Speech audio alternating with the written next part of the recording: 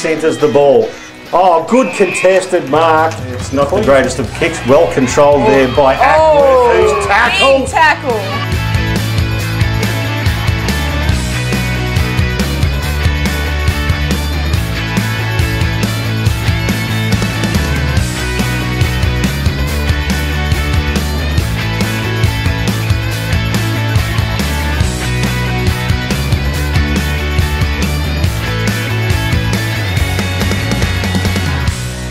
Ball to the top of the square, scrappy kick, and it's Cowan who uh, takes the intercept mark.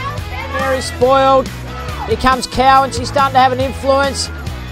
Kicks it deep and wide.